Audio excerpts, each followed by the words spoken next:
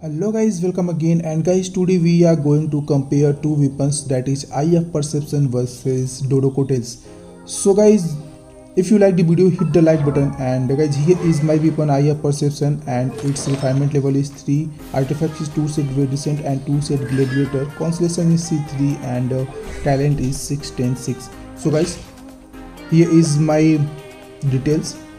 Okay you can see created and uh, all the details so guys let's go.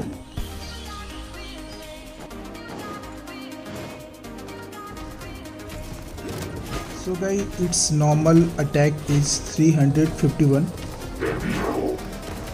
as you can see and the crit hit can damage uh, 690 charge attack uh, charge attack 1250 1260 and 50 it can vary 1260 okay now, now let's see how much damage its the ability 5600 Animal test 6308. Yeah. Don't break my glasses. Uh, unexpected outcome.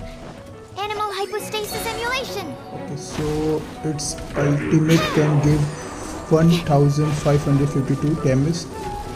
And if crit hit uh, 3000 nice. So let's change our weapon and uh, let's see how much damage can a Dodoco Tales do.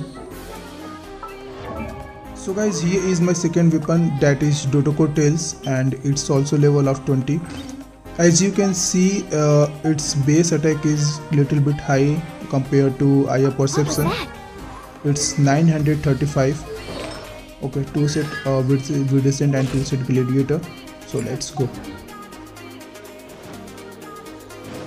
Here we go again and our ruin guard is kind of searching something.